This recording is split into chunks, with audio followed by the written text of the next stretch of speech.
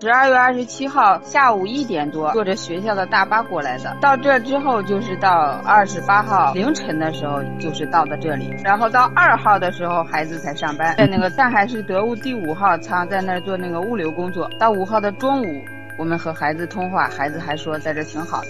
就是晚上吧，七点的时候，我正在家里吃饭的时候，孩子就给我发微信说：“妈妈，我想回家。”呃，我就觉得这怎么回事呀？这中午还好好的是吧？他就下午想回家，想回家。我说为什么呀？你总要说一下原因吧。他说他就是犯错误了。嗯，物流那边那个负责人吧，说让他明天休息一天。他说妈妈，我不想干了。我觉得在这干的特别憋屈。他平时性格就有点内向，然后他就。把我拉黑了，我说着说着就发不过去了，然后打电话也不通了，打电话不通，我就赶紧给他们班主任打电话，然后这个带队老师就去宿舍看了，说孩子已经出去了，说手机在。